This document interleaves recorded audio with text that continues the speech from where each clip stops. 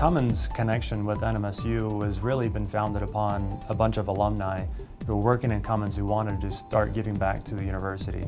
Working with Cummins has really helped us with the process and the, the engineering thought process and critical thinking that comes along. The impact of having Cummins employees working with the students on the team has been huge.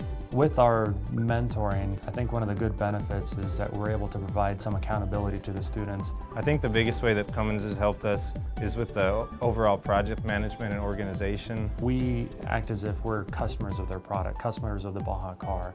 We've been competing in Baja for over 30 years. The College of Engineering sees a huge value for this student organization here on campus. I think a big thing that Baja teaches you is a new way to design you have to think about how you're going to manufacture these certain things or how the maintenance will be for those parts. And I think that's great to take to internships and jobs to have that experience. So when you're doing a design for a company, you have that in mind. The things that you're going to learn in Baja aren't just applicable to Baja. They grow you as a person outside of that. Beyond building and fabricating the actual Baja car, we're learning so much about teamwork and about communication, about organization, and about collaboration between our team, T2, and T1, the original team, that's the boys team. I think bringing an all-female team into this, what we're going to call typically a male-dominated competition here, has been huge for New Mexico State University. So by starting T2, we were able to create this environment where the people can actually learn enough to be able to ask questions and create a safe haven where they aren't embarrassed to ask those questions. We learn all the part names and it's just a, it's a great environment to be in. Uh, I think the T1 and T2 partnership has been great because we're working on two separate projects but we're able to bring a little bit of expertise from each side together.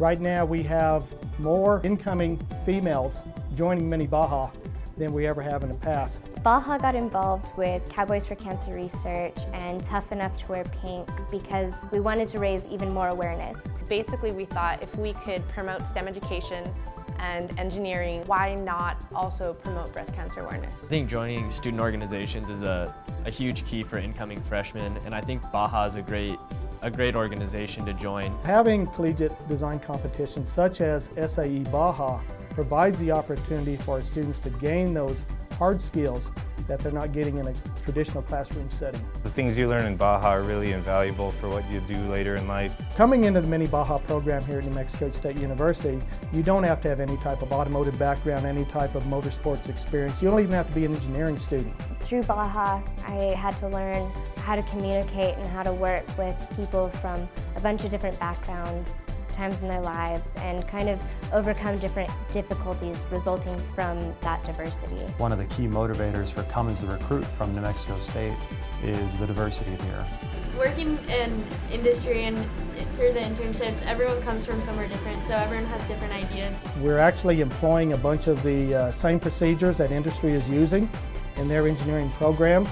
We've seen immediate results. And that will help promote you on a professional level as, as well as on a personal level, developing your technical skills as well as your soft skills there at Cummins. The SAE Baja competition encompasses kind of the whole spectrum of what we can expect to see in industry. Not only do our students have to design, manufacture, test, and compete a car, they also have to look at other aspects such as marketing, budgeting, time management, things like that that actually apply in the real world.